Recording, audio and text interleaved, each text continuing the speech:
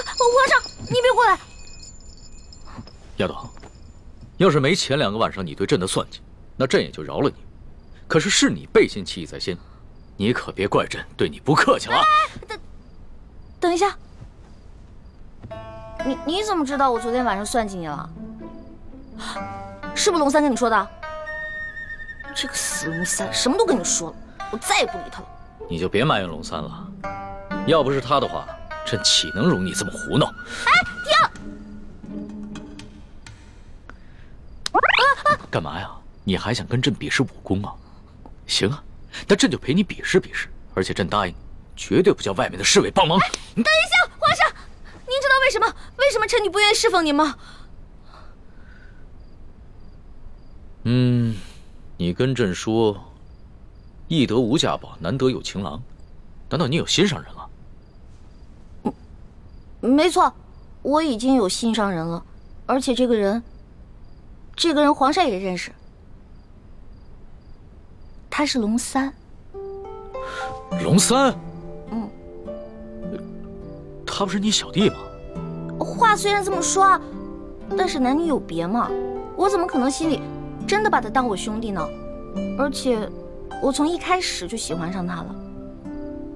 皇上，如果您要硬抢的话，那我只好，我只好为了龙三守节也死了。你肯为他去死啊？没错。皇上，龙三可是您的心腹啊，这古来圣明的皇帝都不可能抢夺自己手下的女人的，而且。还会有意成全呢。再说了，您后宫佳丽三千，何必为了我这一个小小的秀女，而伤了龙三的心呢？那你怎么知道龙三爷喜欢你啊？我虽然不知道他心里到底喜不喜欢我，但是我敢肯定的是，我在他心里，一定占了很重要的位置。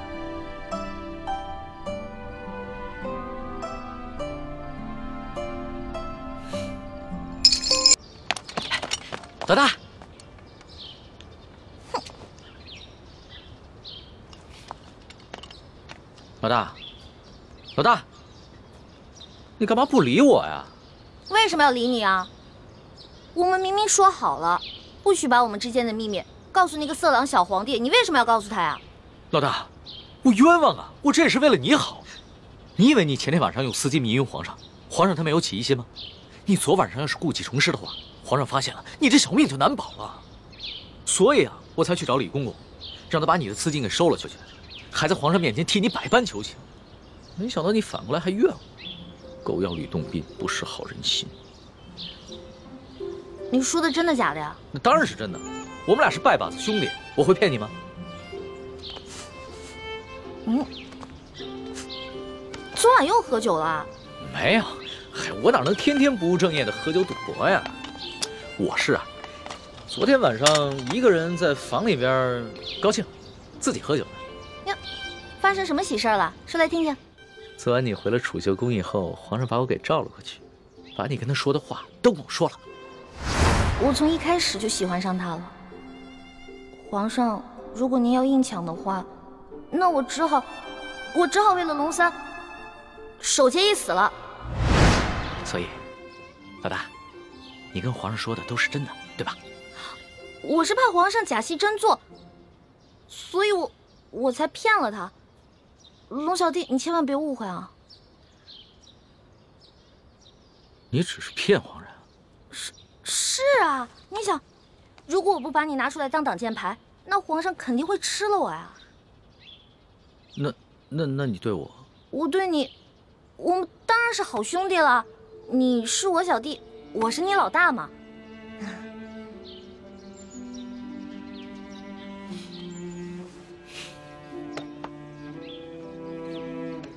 怎么了？你生气了？不是生气，也许你就是情窦未开，说了你也不懂，或者是你根本就是在装傻，所以不论我怎么说，你都会装着不懂。嗯，我们两个。不是一直挺好的吗？我们俩是兄弟，这样相处，不是也一直挺好的吗？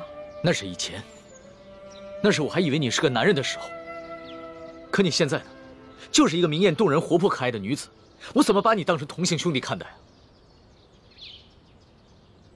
龙小弟，我忘了告诉你了，我其实从小就许配给人家了。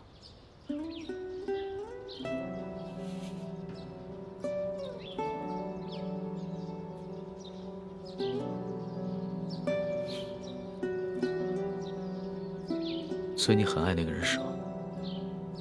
为了他，你连皇上的临幸也不要，对我更是不屑一顾。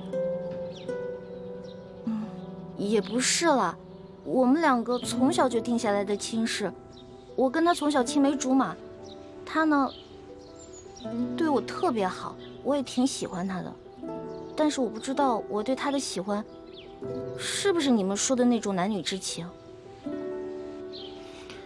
我看得出来，你现在说的是真的。那是不是不论如何，不管你待他的情感怎么样，你最终都会嫁给他？嗯，我的未婚夫曾经很富有，很有权势，但是后来他们家衰落了，他一心想着要成家立业，先成家再成亲，所以，我得一直等着他。我不能嫁给别人。好吧，我明白了。但是皇上信以为真了，他跟我说了，为了照顾我的感受，从今天晚上开始，不会再找你侍寝了。真的？哎呦，龙小弟太好了！多亏了有龙小弟，要不然都没有人在这宫里罩着我了。所以在你心里。对我这个龙小弟的印象，至少比皇上好了很多，是吗？那当然了，咱们两个属于一见如故。这要是皇上跟我拜把子呀，我才不跟他拜呢。皇上怎么可能跟你拜把子？皇上他是一国之君，不可能跟你拜把子的，更不会有福同享，有难同当。也是，其实皇上挺可怜的。你说皇上可怜？对啊，我还是第一次听见有人这么说。他是皇上，一国之君，可是呢，没有人会把他当成真心的朋友的，也没有一个女孩会真心的喜欢他。但是你不一样啊，你虽然不是皇上，可是你身边一定会有很多真心的朋友，也会有很多女孩真心喜欢你的。也许是吧。倩影姑娘，要不，还是我和你哥哥骑马。你坐我的马车吧。哦，吴公子，还是我骑马，你坐车吧。这是什么话呀？哪有让女孩辛苦骑马，而我坐马车的道理呢？妹妹，吴公子的一番好意，你就不要推辞了。请，来，我扶你。